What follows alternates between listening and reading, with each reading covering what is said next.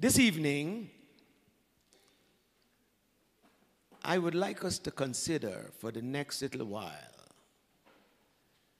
the text, the scripture was so ably read and enunciated by Dr. Mary Wangai. I will repeat it again for the sake of euphony and appreciation.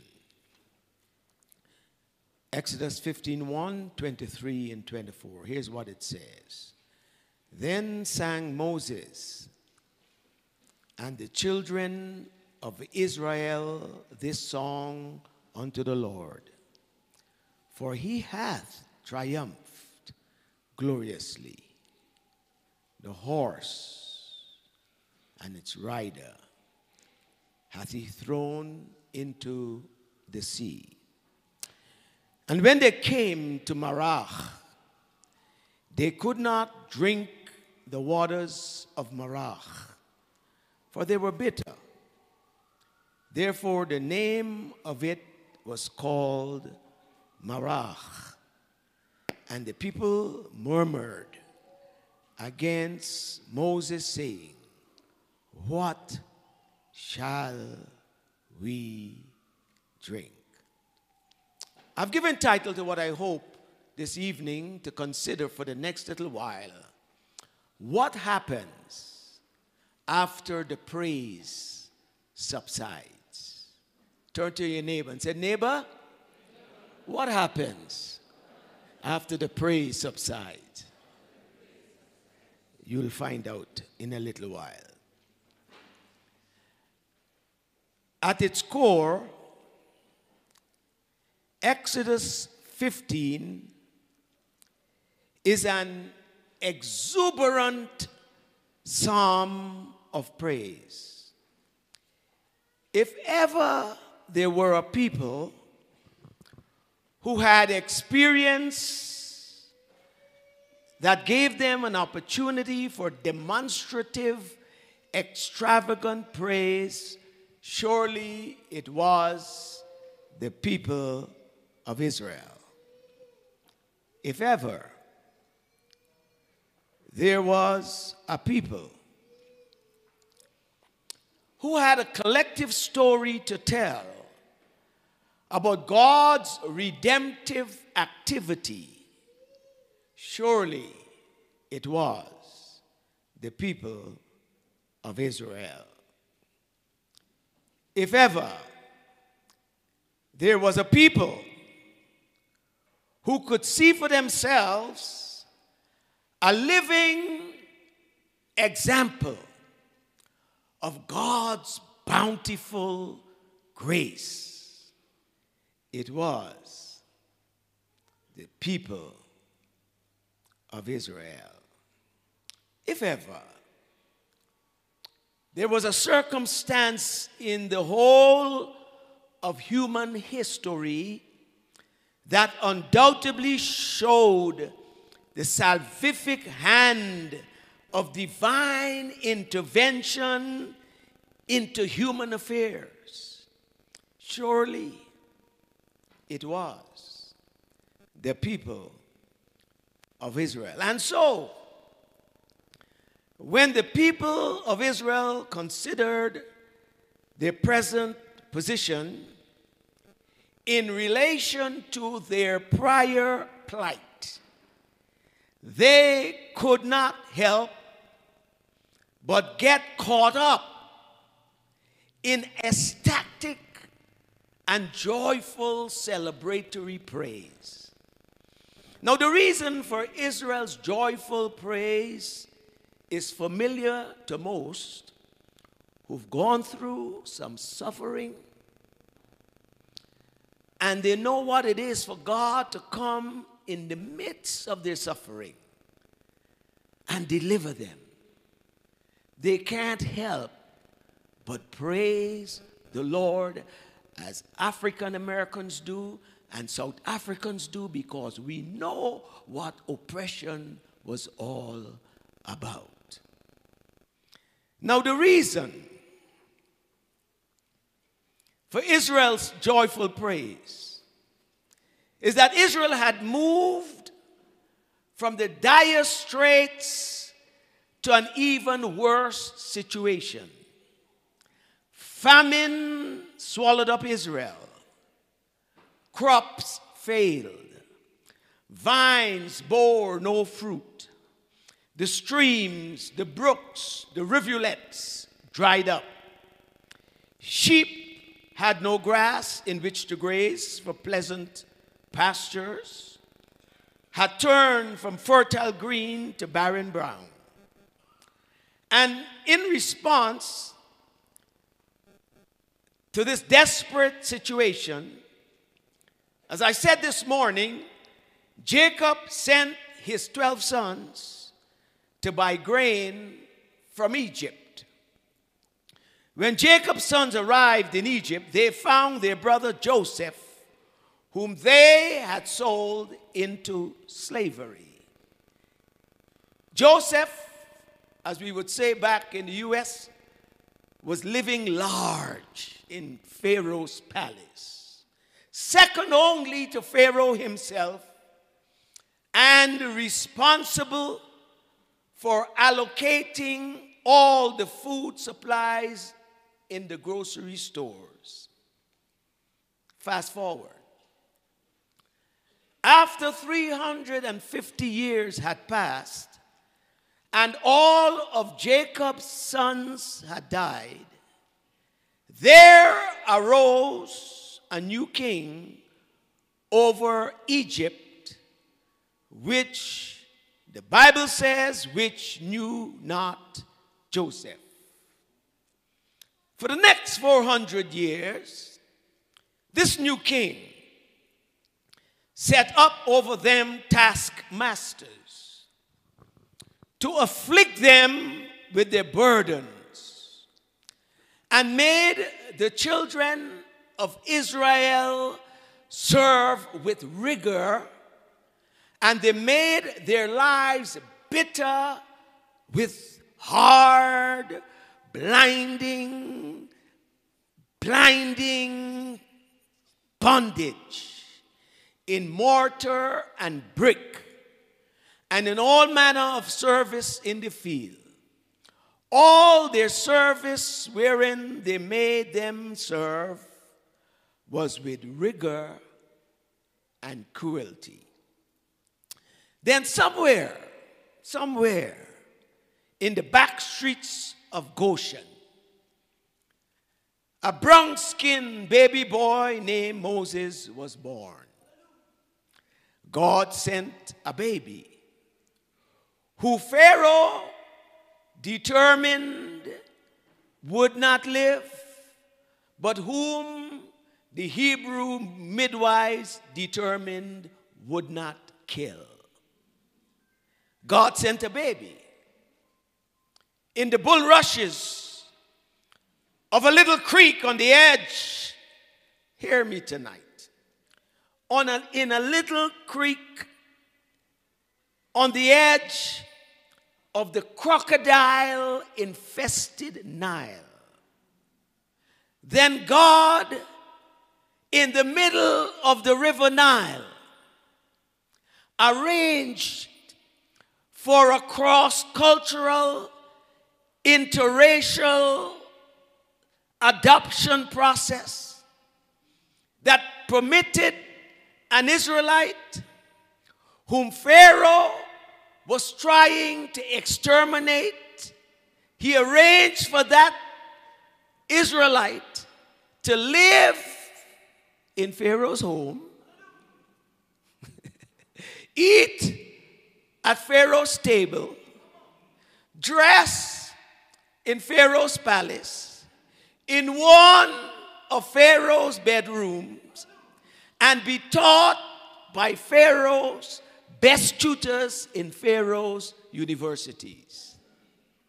But now, after 400 years of blinding, grinding slavery, God Almighty God determined enough is enough. And the Bible says that God heard their groaning and remembered his covenant with Abraham, with Isaac, and with Jacob. Now, God sent this same Moses to stand at the seat of Pharaoh to plead, Let my people go. A burdened people were then able to throw off the shackles that had so long held them in the ignominy of their captivity. And so, my brothers and sisters of New Life, in this encampment, we now reach Exodus 15 and we find that the people of Israel, after they had crossed the Red Sea, they stood on the threshold of a land God had promised, and they joyously recited in song what God had done. And the Bible says they sang with joy musical instruments that probably would not be permitted at New Life. Amen walls. Tambourine and drums. Come on, church. And they said, I will sing to the Lord, for he has triumphantly, gloriously, he has hurled both horse and sea and rider into the sea. Pharaoh's army, he has heard, they're singing and dancing and chanting and praising. The finest of Pharaoh's offers, officers, they sing, sang, are drowned in the Red Sea. And at the blast of your breath, this is the song I'm quoting, the waters piled up. The surging waters stood straight like a wall. And in the heart of the sea, the deep waters became hard as concrete. But God, you blew your breath, and the sea covered your enemies. They sank like lead in the mighty waters. With Pharaoh's horses, Miriam and Aaron sang. Chariots and charioteers rushed into the sea that brought the waters crashing down on them. But the people of Israel had walked through the middle of the sea on dry ground. And so they told their story over and over again. And they did so in song. And the Bible says in ecstatic praise. In fact, Exodus 15 1 to 19 is popularly known as the Song of Moses. And these verses, my brothers and sisters, some of you who are looking at me cross eyed, represent the jubilant, hello, ecstatic praise of Moses and the children of Israel. Moses was not alone in showing his jubilation, but when Moses was finished, his sister Miriam took over. And the praise, hear me, church, the praise was so high and lasted so long that Miriam, the Bible says, lost her poise, her propriety, her sophistication. She took a timbrel in hand, and all the women went out after her with timbrels and dances with Moses and Miriam singing, and the women dancing. High praise surely had engulfed the camp of Israel.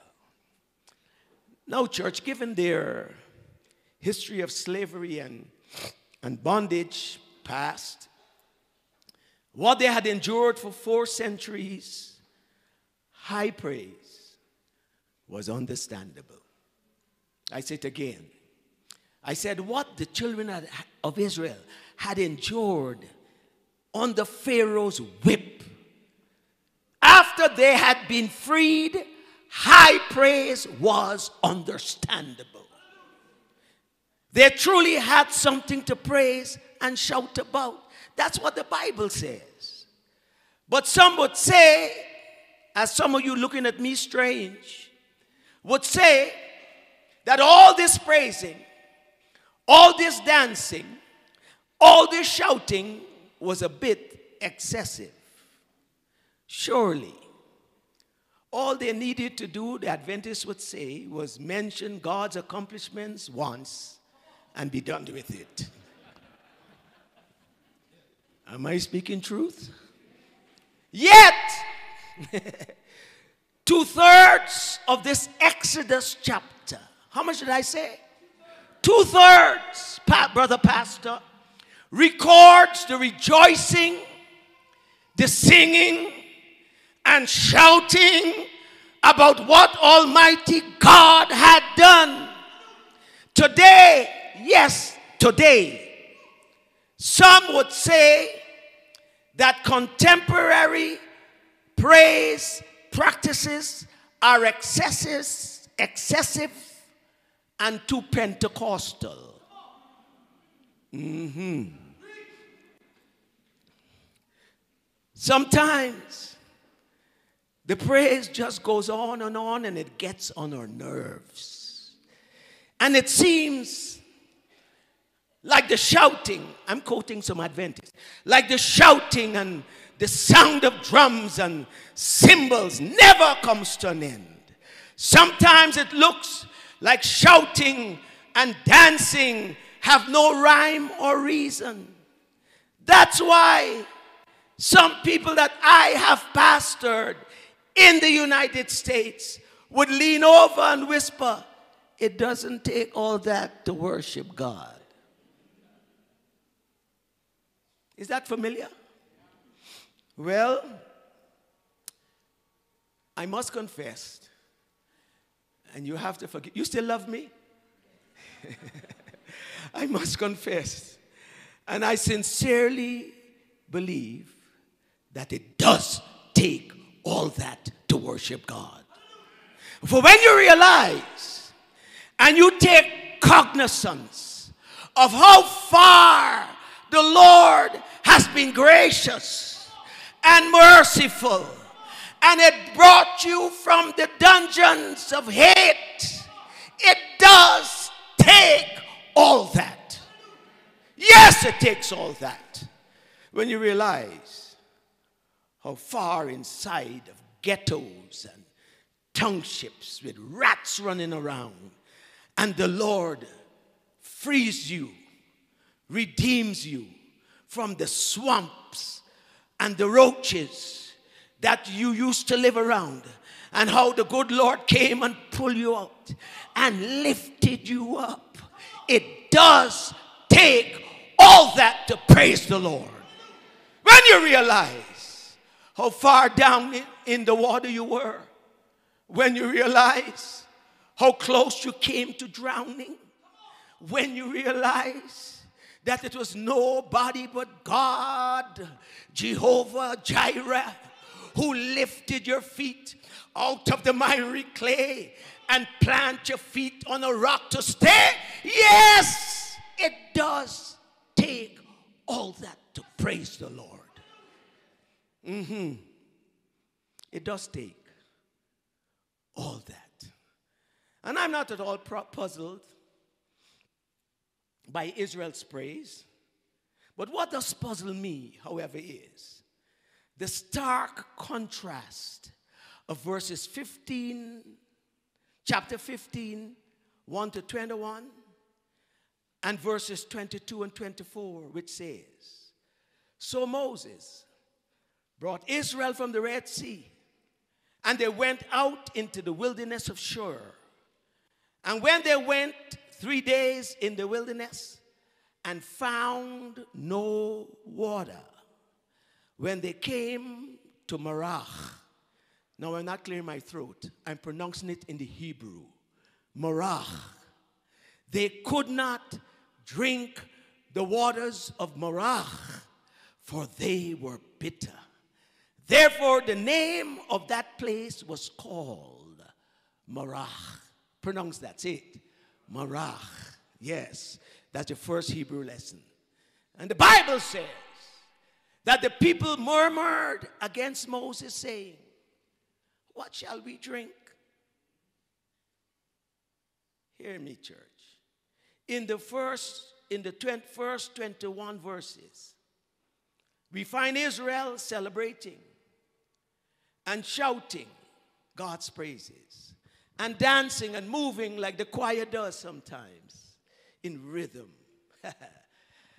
Here, the very same people murmuring and had a negativity of spirit complaining because they were thirsty. That sounds a lot like church folk, doesn't it? After God has blessed you and you get just a little hung nail, ladies, you complain and want to diss God. Mm-hmm. As long as the Israelites could see their way, they celebrated and shouted. Yet, as soon as the way got a little hard and the road got a little rugged and bumpy, they murmured. As long as everything was prepared for them, they shouted. They toy toyed. What do you call it? What lazy? What you call it here? South Africans call it toy toy, and they and they dance. Yes, as long as everything was prepared, they toy toyed, they danced, they shouted. But as soon as they would have to exercise their own ingenuity, ingenuity, ingenuity, and use their own determination, as soon as it looked like they would have to rely on a vision that was not their own, they murmured.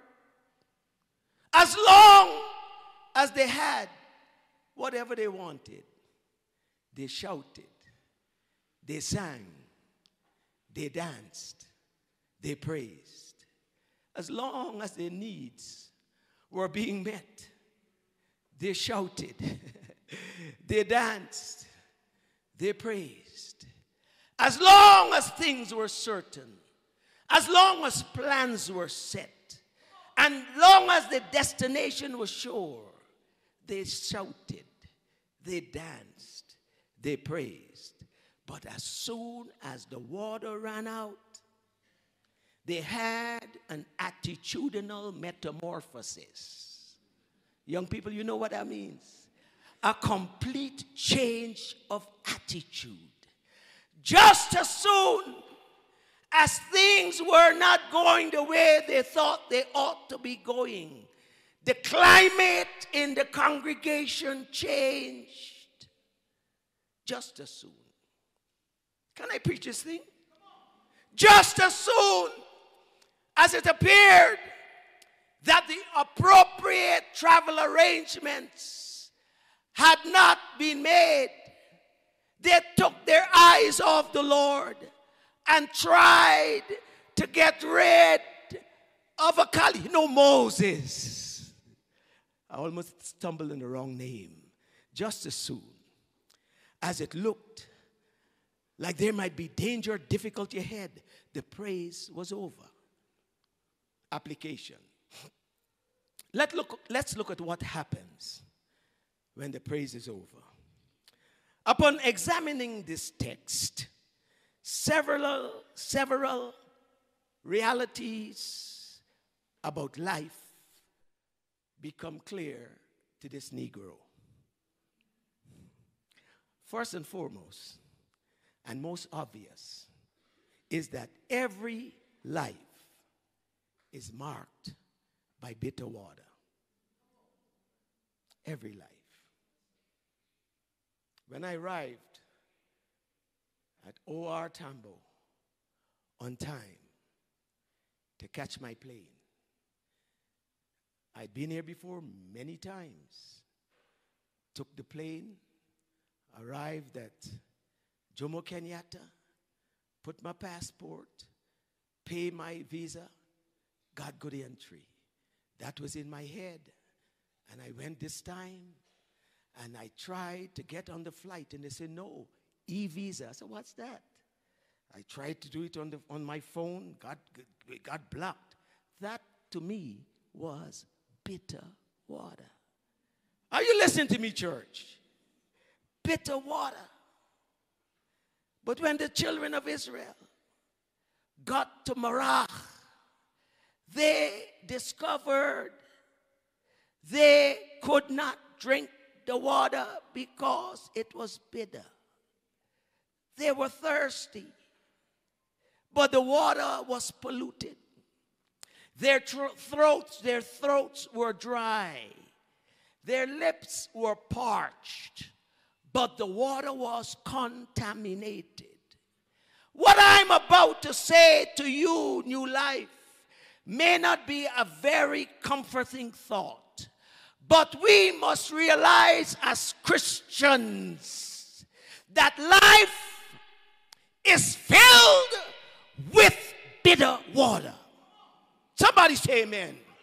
I wish I could tell you that your life would always be sweetness and light. I wish I could tell you that life is like a bowl of cherries on the above four scoops of your favorite flavor of ice cream, or that you'll be able to tiptoe successfully between the tulips.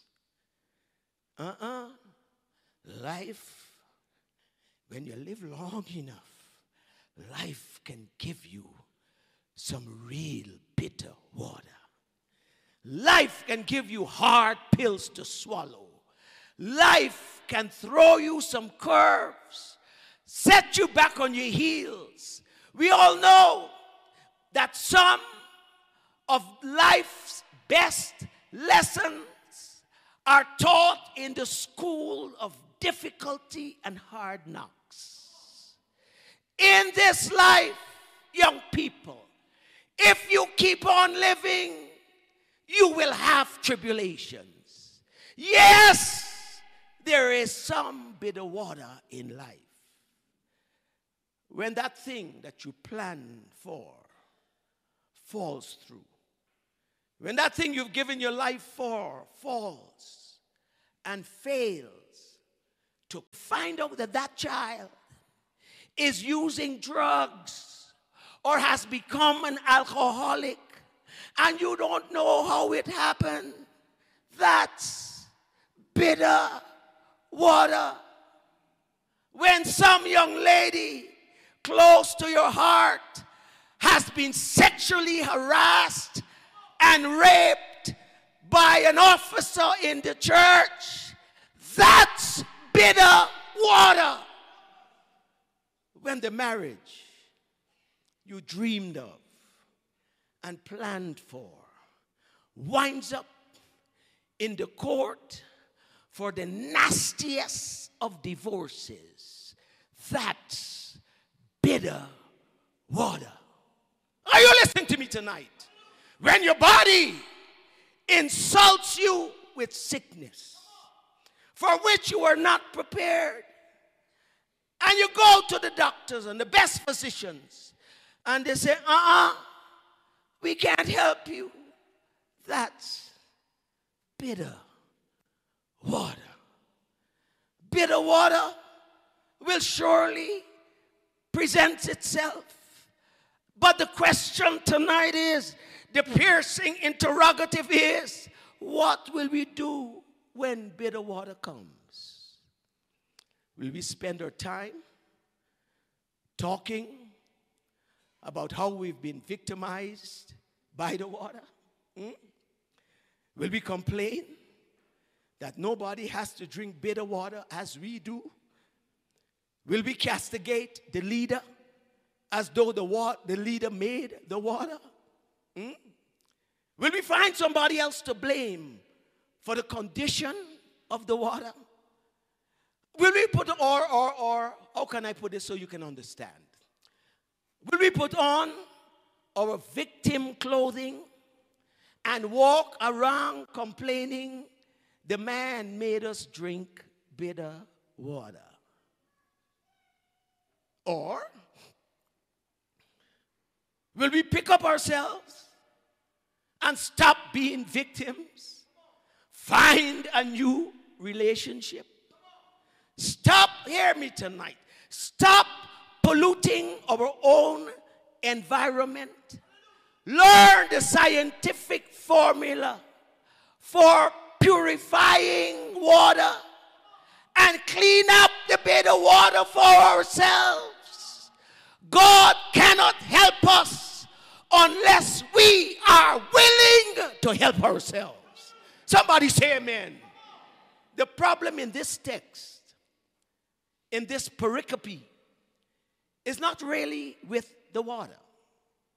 In fact, God did away with the problem by simply throwing a piece of stick in the water which sweetened it. The bitterness of the water was no longer an issue. The real problem here, would you like to know? I thought you would. Real problem here, which is evident by the shift from the celebratory shouting to murmuring and complaining. The problem then is there is sickness, Natalie, in the sanctuary. Are y'all listening to me? The text says, if it's in the book, what do we do? Take a look. Hmm. the text says, if you will listen carefully to the voice of the Lord, your God, and do what is right in his sight, obeying his commands, keeping all his decrees, then I will not make you suffer any of the diseases I sent on the Egyptians. For I am the Lord God who heals you. Somebody say amen. It's there in the book. Whenever there's an unnatural shift from shouting and praise. By the way, this is a practical sermon. You may not you may not feel happy about it, but I'm going to preach it anyhow. Whenever there's an unnatural shift from shouting and praising to murmuring and complaining, you can be sure, bet your bottom dollar, no, your bottom shilling, that underneath it all, there's an element of sickness. When God brought Israel out of Egypt, He did so after giving them many signs. Most prominently, the plagues that consumed the land. And one of the signs was turning the rod into a snake. Are you listening to me? The snake is a symbol of Satan. And whenever there is confusion about whether to shout and praise or complain, Satan is lurking somewhere in the church. Amen, Ruth, help me. Satan is lurking. And whenever Satan is present, sickness is not very far behind. God sent how many plagues? Ten in all. First, water turned to blood. Then, frogs covered the land and even invaded Pharaoh's bedrooms and his ovens. The dust became insects and filled the air, and there were flies, plagues on the livestock, and boils on animals and humans. Hail destroyed the crops. Locusts devoured, and hail left. Darkness came over the land of Egypt, and death of the firstborn. Now, when this, these plagues, hear me, church, these plagues were intended for God's enemies, the Egyptians. And I believe with all my heart that when Israel stopped praising and murmuring, that indicated a deficiency in their spiritual defense system that made them susceptible to the same kinds of diseases that victimized Pharaoh. Did you get it? Should I say it again? I'll say it again. These plagues, let me take some dawa.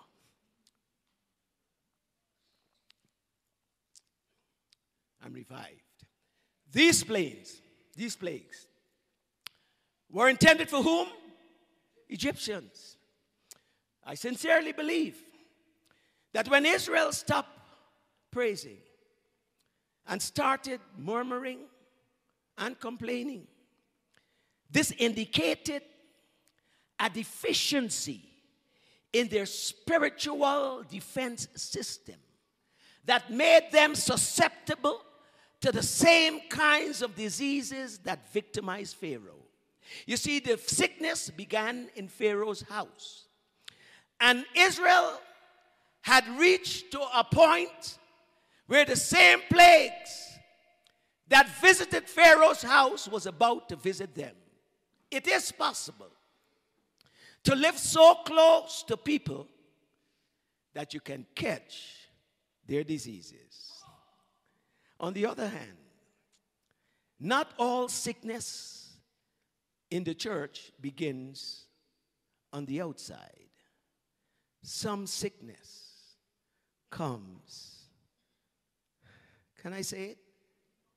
From within the church. Yes. There are some psychotic flies in the church. There are some neurotic insects in the church.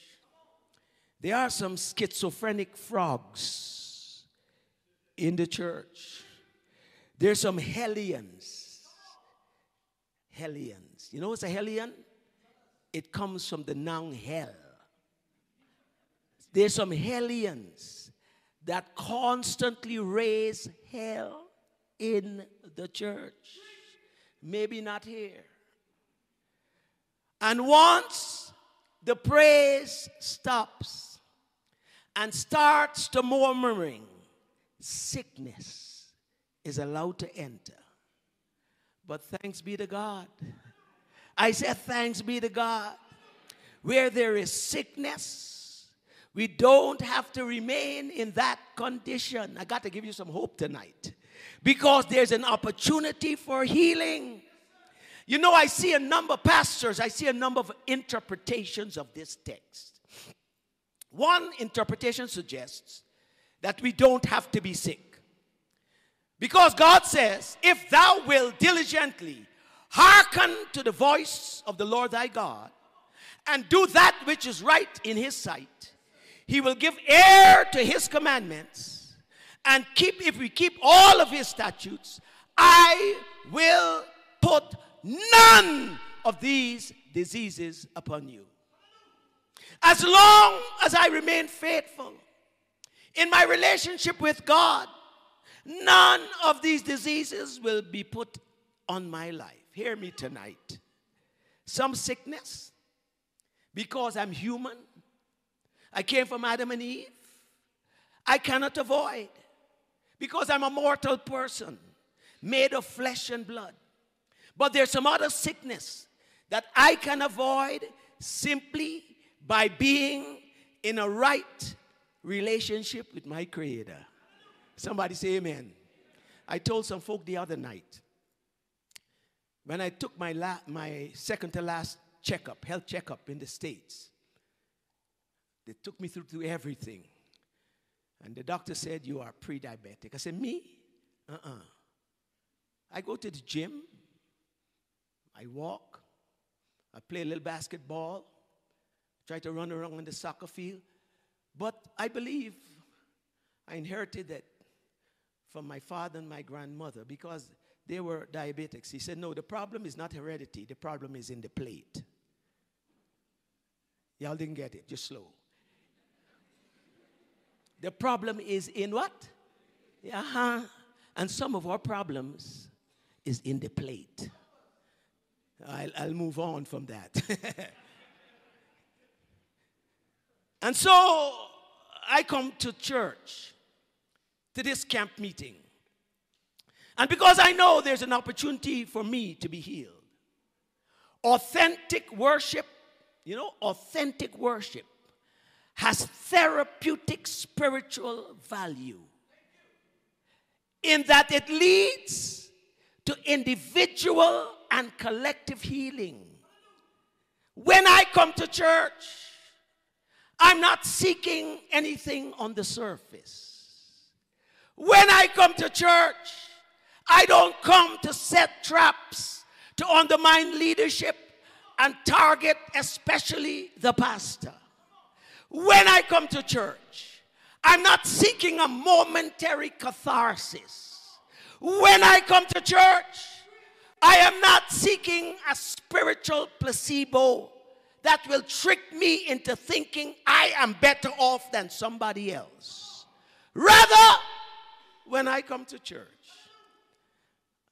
I'm looking for someone to diagnose my sinful situation and to prescribe the right medicine that will put me on the right spiritual path.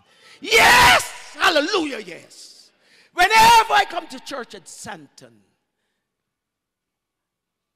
I don't expect God to do something for me. He does something for me every day of the week.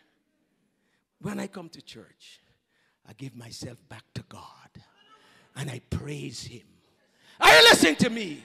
You don't come to church to get some, you bring because God gave you life, oxygen. Come on, blood, breath, food. Come on, God walks with you, talks with you, protects you from those crazy matatu drivers.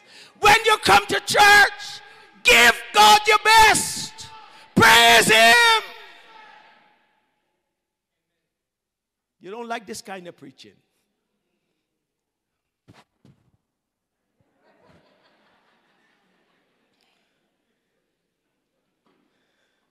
When Jesus healed the crippled man at the pool of Bethesda, he asked him, Son, do you want to be made whole? Likewise, when we go to church, expect Jesus to be ready to heal you and to turn your life around. Don't come to church if you don't want your life to be changed. Don't get into the water if you don't plan to have an attitudinal metamorphosis. When I come to church, I come to celebrate God's goodness, and as a result, I get healing. I am looking for showers of blessing. I'm looking for a balm in Gilead. I'm looking for healing for my body, healing for my dirty mind. When this camp meeting is over, I'll be happy if somebody come and tell me or can I tell somebody whereas once I was blind now I see like the woman with the issue of blood which was a cursed uterine discharge a serious hemorrhaging of blood I want like that woman to touch the hem of his garment. I want my head anointed with oil my cup running over. And if my cup can't hold it, I'll take from my saucer. I didn't come to shout for the sake of shouting. I came to shout and to praise in anticipation of and as a consequence of my sin sickness being healed. The bitterness of the water, which was in part the precipitating cause for their murmuring, was indicative, Dr. Mary, of an internal deficiency in Israel's spiritual immune system that showed up as a spiritual virus and then became full blown disease that revealed the fact, Natalie, there was sickness in the sanctuary. In spite of the apparent sickness, just wait, just wait. God says to us tonight, you don't have to be sick. None of these diseases will come upon you. Campers, just remain in a proper personal relationship with the God who brought you out of spiritual Egypt. Therefore, the text not only implies that you have an opportunity for healing, but you must remember tonight to remain open to a relationship to the one who is in the source of the healing. There's no, hear me tonight, there is no healing apart from the healer. God says if there's going to be healing, any healing in our lives, any purpose in our praise, any healing in the sickness that is prevalent in new life, we need to be aware of the one who's doing the healing. And this is what he says. I'm going to get done. This is what he says I am the Lord that heals you. And this is the only place that I know. I'm not saying the only place. This is the only place I know where Jehovah Rapha can be found in Scripture. It means that your God, my God, our God, has charge and control over the healing process. Hallelujah. I know in this modern technological age, some of you are impressed with this thing called genetic cloning. I'm aware that some of you are impressed and amazed by scientific advancement with the human genome that enables people to unravel the mysteries of the human genetic footprint. But beyond our amazement, we must know tonight that God, Almighty God, is the one who created the genome in the first place. What scientists and us mortals are trying to do is to get where God has already been. I am the Lord that heals you. I may not understand or have a clue of the human genome thing. I don't may not understand, and I don't. But I do understand that when I get sick, are you listening to me?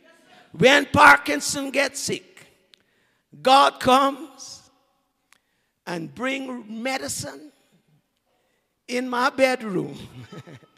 the slaves back in southern United States used to sing it this way Come in the room. Come in the room. King Jesus is my doctor. He writes all my scriptions. He brings me all my medicines when he comes in the room. I understand that Jesus is a doctor who has never lost a patient. And I do understand that he has more medicine in the hem of his garment than any pharmacy in Nairobi. I do understand that he has healing in his touch.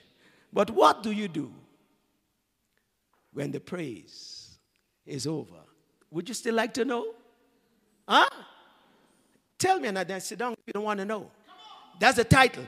What do you do when the praise is over? If you're still asking the question in your head, it is because you did not read the last verse chapter of chapter 15. Don't read it right now. Don't read right now. Read when you get them. I want you to hear me. God threw a stick in the water and he dismissed the water problem. And the Israelites kept walking. And they came to Elim, where there were 12 water wells and 70 palm trees. They had berries and palms, and they camped by the water. Now, then, if you still want to know what to do when camp meeting is over and the praise is over, uh, tell somebody this black preacher came, this nappy head black preacher came and told you to look for the wells. When the Israelites got where they were going, God had already, remember that word? Already provided not just one well, but 12 wells of water. If only they had faith and kept walking. And before they got there, the wells were already there. So when it looks like you can't praise, like you can't shout anymore, look for the wells. When it looks like the waters in your life become bitter, look for the wells. Oh, new life. Whatever you need, God will provide. Look for the wells. This is yet hope in a dismal situation, look for the wells. They are the signs and signature that God has already been where you're headed. Look for the wells. They are the imprimatur of a God who keeps his word and provides for our every need. Look for the wells. He promised to lead us to green pastures besides still waters. Look for the wells. The God who led you through the water is the same God who will lead you to the water. He is faithful. New life, He is faithful to every promise. When the praise is over, look for the wells like the woman at the well. I was seeking for things that could not satisfy. And then I met the Savior speaking, Draw from my well that never, hey, never, never, never, never, never shall run dry. So fill my cup, Lord. I lift it up, Lord. Come Come and quench this thirsting of my soul. Fill my cup. I lift it up. Come and quench this thirsting of my soul. When you get discouraged, look for the well.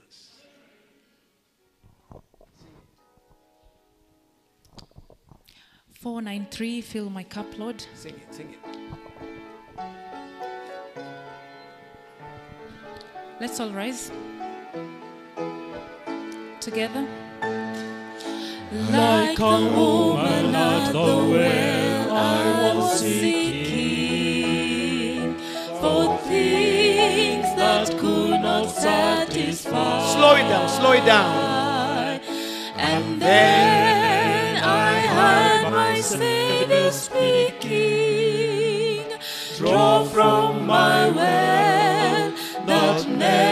shall run dry. Oh, yes, what we do. Fill my cup, Lord. I lift it up, Lord. Come and quench this thirsting of my soul. Bread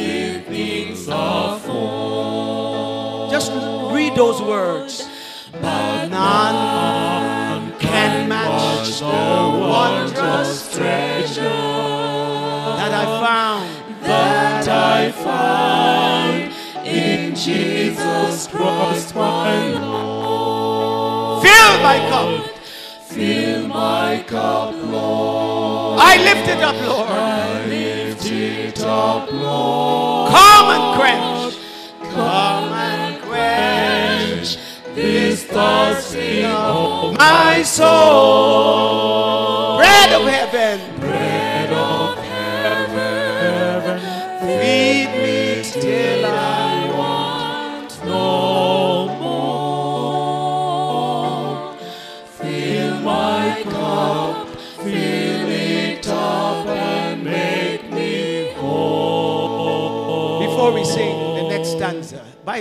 Way, is a prayer. Somebody, would you like to make this prayer your prayer? And any prayer that you pray, God has obligated Himself to answer. Are you listening to me, church? Your God loves you too much for you to continue drinking bitter water. He wants to clean up your water, whatever it is. Bad marriage, huh? unhappy home, hmm?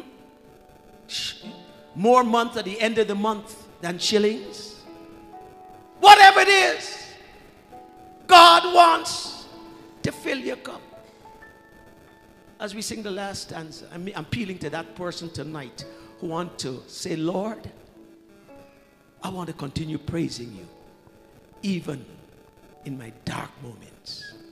If that's your desire as we sing it, I invite you to come for a special prayer so that your bitter water can turn sweet. By the way, that piece of piece of stick that Jesus threw symbolized the cross. The cross made life sweet for the Christian. Sing the last stanza. So, my brother, my if this thing or sister, whichever one you want to put it. So, my brother, if these things of the world gave you, sing it. Come. Together. So my children, if the Come, come, come. Fill my cup.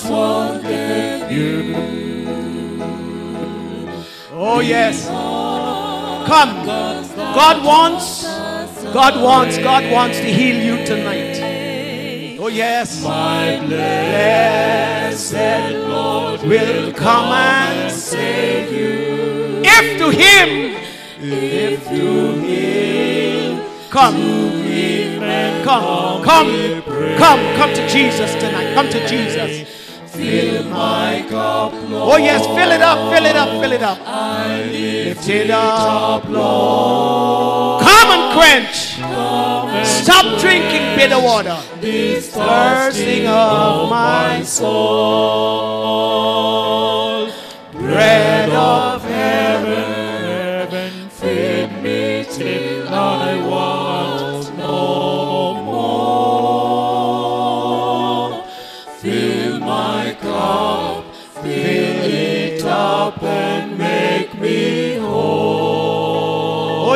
that chorus again. Fill my cup, oh, Lord. Oh, yes. Young man, keep coming. Keep coming. God will bless you. Lift it up, Lord. Come, come, come, come. Come and quench this thirsting of my soul. Bread of heaven. Feed me.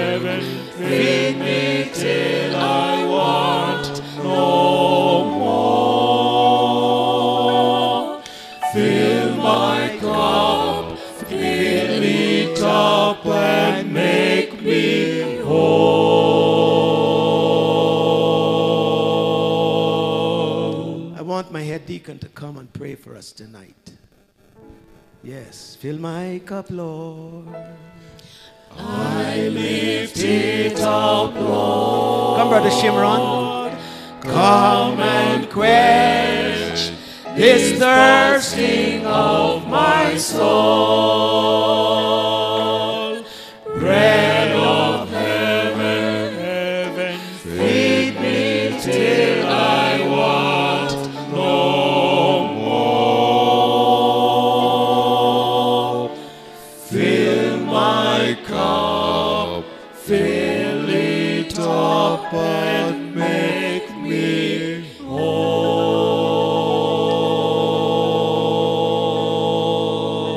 discovered, folk, just listen to me for a second before he prays. I discovered whenever we try to live the Christian life without Christ, that's bitter water. All we have to do is Lord, say, Lord, like Peter, save me.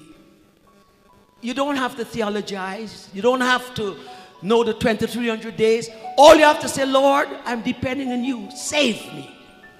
And God will fill your cup until it runs over. And so tonight, I invite you to give your hearts one more time to Jesus. Are you willing to do that, church?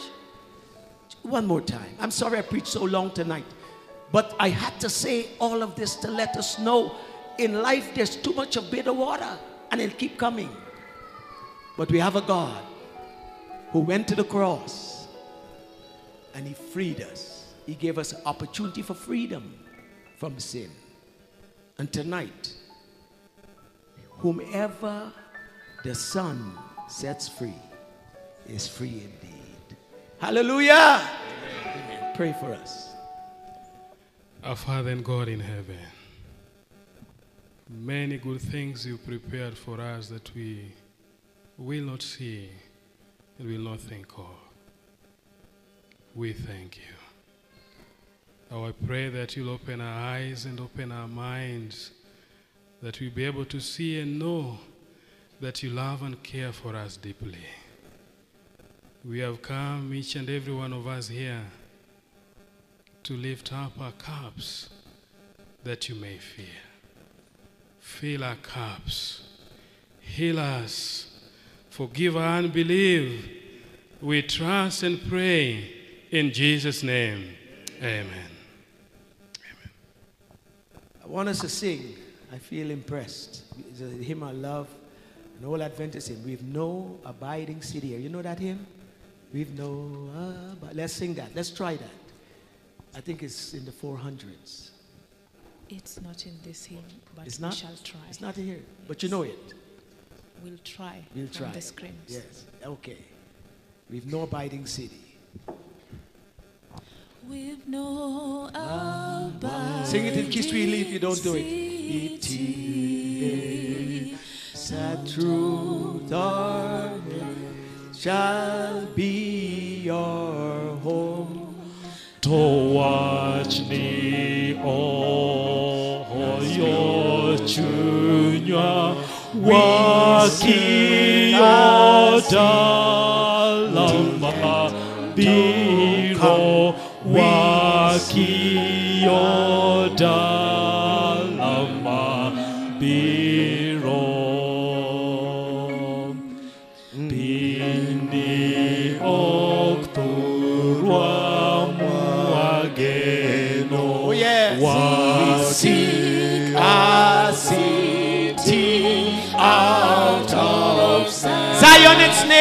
Zion is The Lord is there. The Lord is there. It shines. It shines with everlasting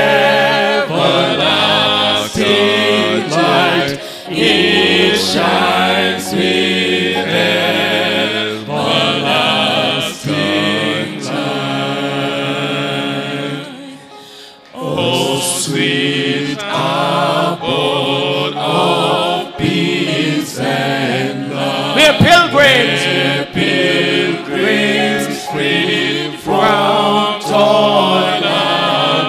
and I the pinions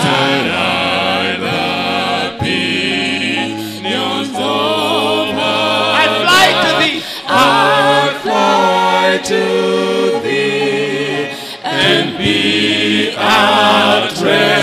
I fly to thee stanza.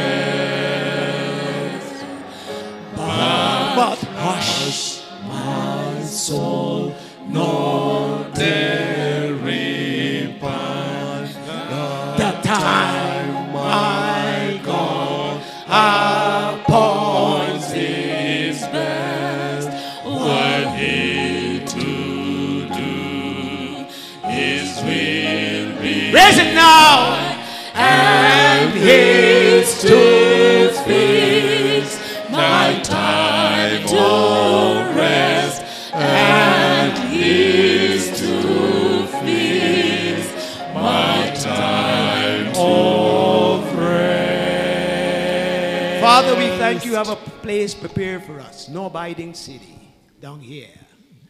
One day, Bonn, Berlin, Georgetown, Washington, D.C., Harare, Dar es Salaam, all these cities, Nairobi, will be no more. But one day, New Jerusalem, we shall occupy because Jesus is there. And so, Father, prepare us for that day when you will come and save us. In Jesus' name. Amen. We're dismissed. Go with Jesus.